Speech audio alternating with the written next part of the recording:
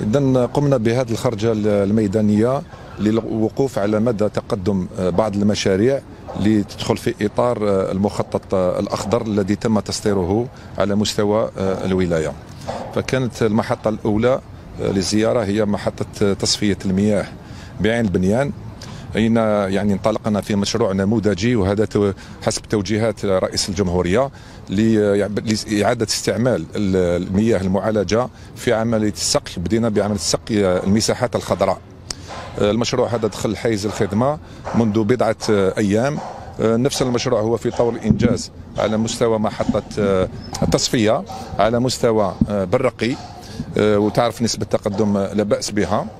اذا في في الأول راح نقوموا بعملية سقي المحاور الكبرى يعني المحاور الرئيسية ثم سنقوم بتوسيع هذه العملية بصفة تدريجية لتعمم على مستوى المناطق الحضارية على المستوى على المدى المتوسط.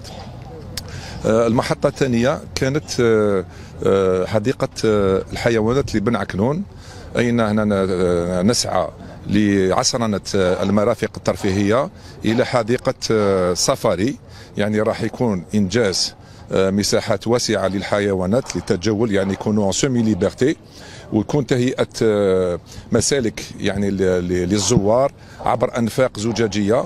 وين راح يكون هذاك الاحتكاك بين الزوار والحيوانات. ويكون الفرق بينهما إلا سمك تاع الزجاج هذا.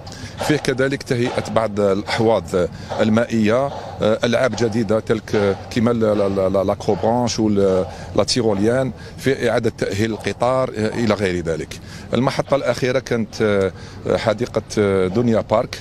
هنا الأشغال راهي ممركزه يعني على مستوى الناحية الشمالية للحديقة. أين تم إنجاز بحيرة اصطناعية في انتظار البحيرة الثانية اللي راح ننطلقوا فيها خلال الأسابيع المقبلة. فيه مسالك يعني رياضية اللي تم إنجازها فيه